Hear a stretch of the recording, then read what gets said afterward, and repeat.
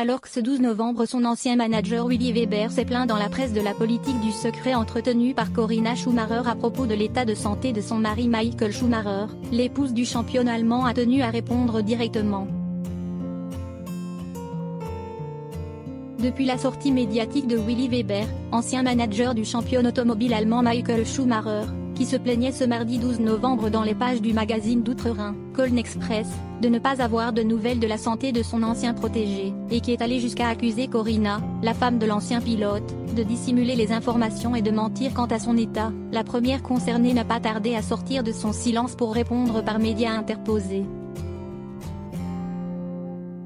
Pour mettre fin aux rumeurs et aux fantasmes liés au silence entourant son mari depuis son accident de ski survenu il y a presque six ans et qu'il a longtemps plongé dans le coma, Corinna s'est exprimée, fait rare, puisqu'elle passe d'habitude par sa redoutable attachée de presse Sabine Kim qui verrouille chaque information, dans les pages du journal allemand Mercedes Magazine. Michael est entre les meilleures mains possibles en ce moment et nous faisons tout notre possible pour l'aider, vous pouvez en être sûr. Essayez de comprendre que nous suivons la volonté de Michael de garder son état de santé confidentiel, a-t-elle encore répété avec son calme olympien légendaire. Les fans du septuple champion du monde de F1 n'en sauront malheureusement pas plus. Pour rappel, depuis son accident de ski survenu à Meribel en décembre 2013 et qu'il a plongé dans le coma pendant trois mois, on est sans véritable nouvelle de la légende de la Formule 1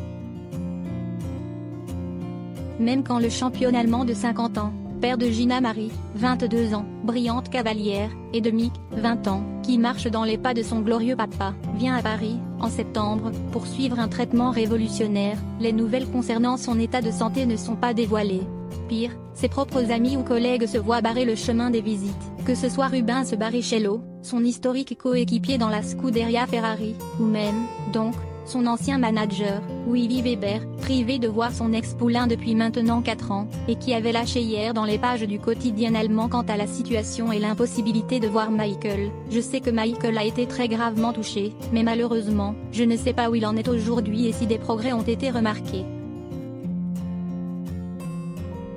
J'aimerais juste savoir comment il va, et lui serrer la main ou lui caresser le visage. Toutes mes demandes ont malheureusement été rejetées par Corinna. Elle a sans doute peur que je me rende compte de quelque chose et que je rende public son véritable état de santé. Si la sortie de Corinna ne devrait pas le rassurer, au moins aura-t-il peut-être enfin compris le message martelé par la famille depuis des années.